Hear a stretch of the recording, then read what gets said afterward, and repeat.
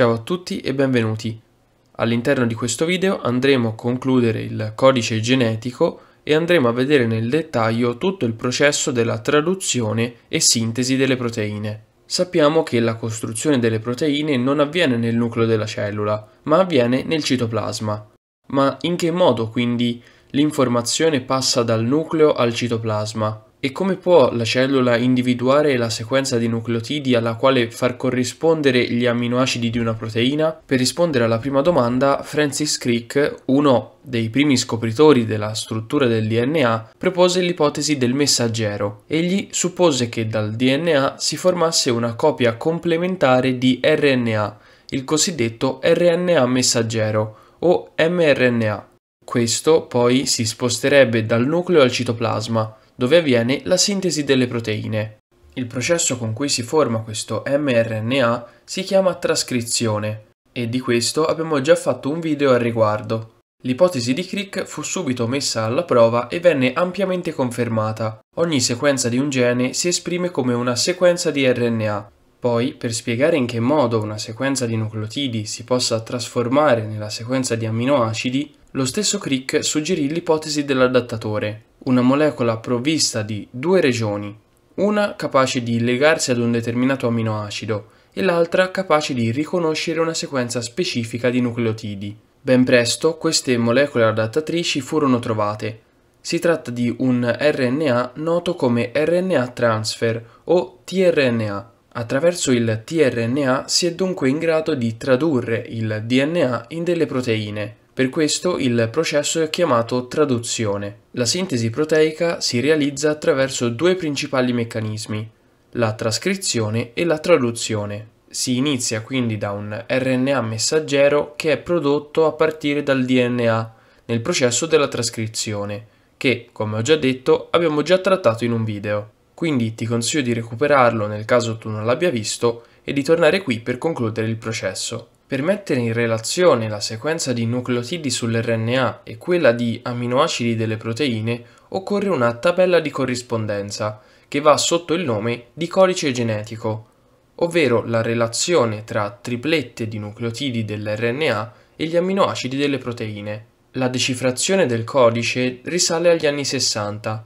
i primi passi furono compiuti dai biochimici Nirenberg e Mattei. I due prepararono RNA artificiali costituiti da un unico nucleotide, l'uracile. Poi lo misero in una provetta insieme a tutto il necessario per compiere la traduzione e andarono ad analizzare la proteina risultante. Trovarono che questa era composta da un unico amminoacido, la fenilalanina. Di conseguenza conclusero che la tripletta di 3U corrispondeva a quell'amminoacido. Successivamente ripetettero la stessa cosa con l'adenina e la citosina, non con la guanina perché per ragioni chimiche non è possibile fare un RNA con soltanto questo nucleotide e in questo modo scoprirono che la tripletta di A corrispondeva alla lisina e quella di C alla prolina. Il passo successivo fu quello di costruire altri RNA artificiali via via più complicati e riuscirono in questo modo a decifrare l'intero codice il quale presenta tre importanti caratteristiche. È universale ed è quindi lo stesso per tutti gli organismi viventi,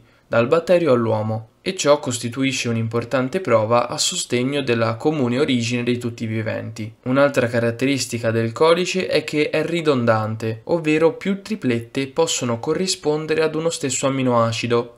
Le triplette sono infatti 64 e gli amminoacidi da codificare soltanto 20. Di conseguenza alcune triplette codificano lo stesso amminoacido, ma non è vero il contrario, cioè una tripletta non codifica mai per più di un amminoacido e quindi il codice non è ambiguo. Come ultima caratteristica sappiamo che il codice genetico è definibile incompleto, ovvero delle 64 diverse triplette possibili, soltanto 61 specificano un amminoacido, mentre le altre tre costituiscono dei segnali di controllo e sono dette triplette non senso. È importante non confondere il codice genetico con le informazioni genetiche.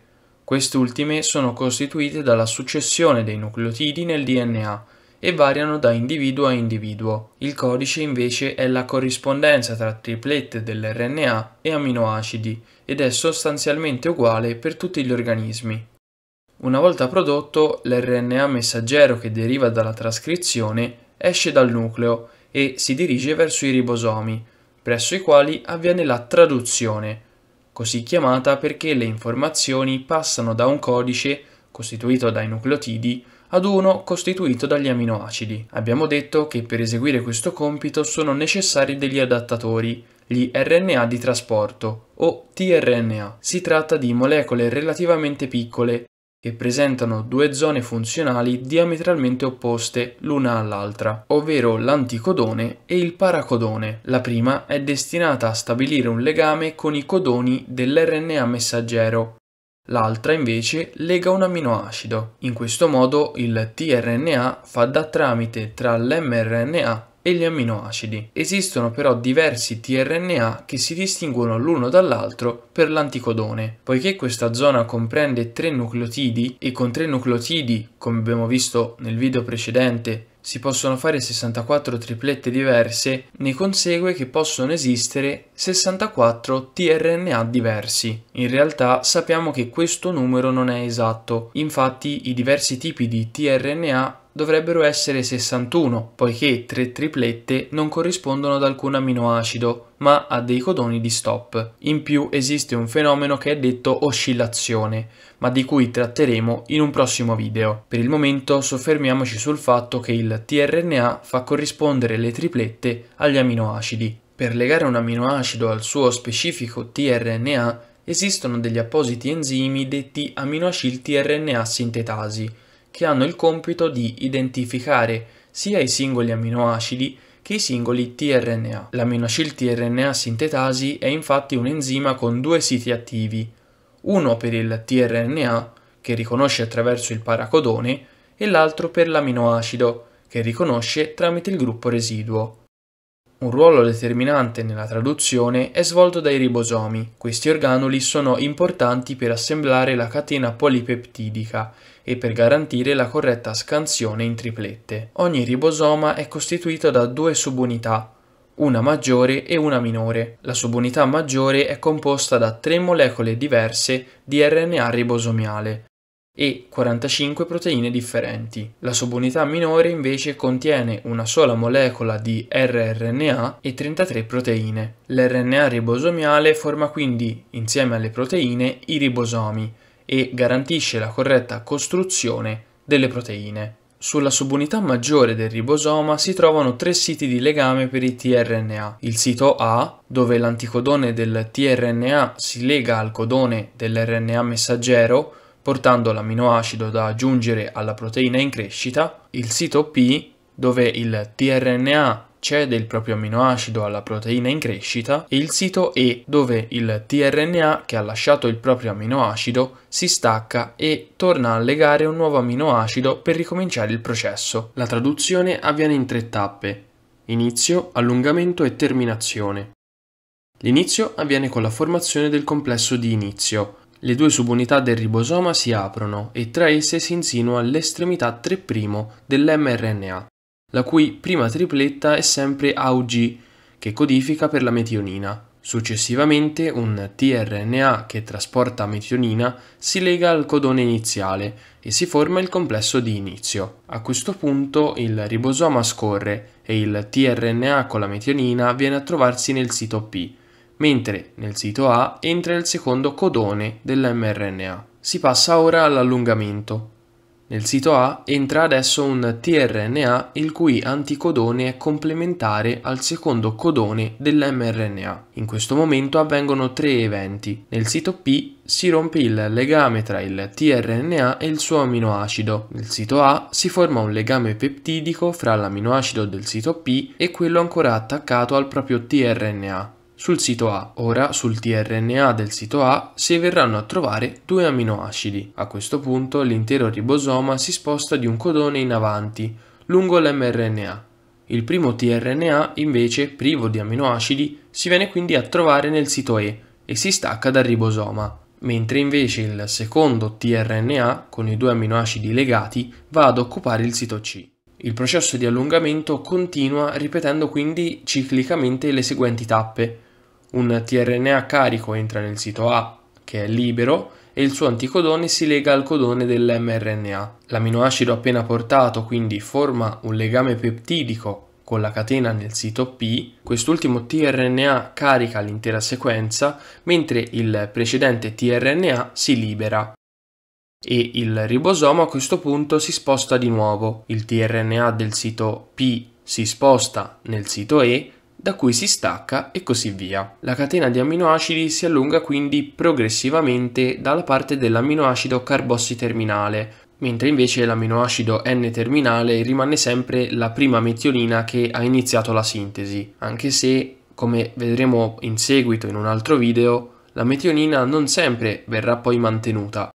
In molti casi infatti dopo la traduzione questa viene rimossa. La terminazione avviene quando nel sito A entra uno dei tre codoni di stop, il ciclo di allungamento si arresta e la traduzione ha termine. Tuttavia non dobbiamo pensare che eh, con un meccanismo così laborioso come quello che abbiamo appena descritto la sintesi proteica proceda lentamente. La velocità media è di circa 4-5 aminoacidi al secondo, per cui la sintesi completa di una proteina di medie dimensioni, cioè circa 500 aminoacidi, si realizza in circa un minuto e mezzo.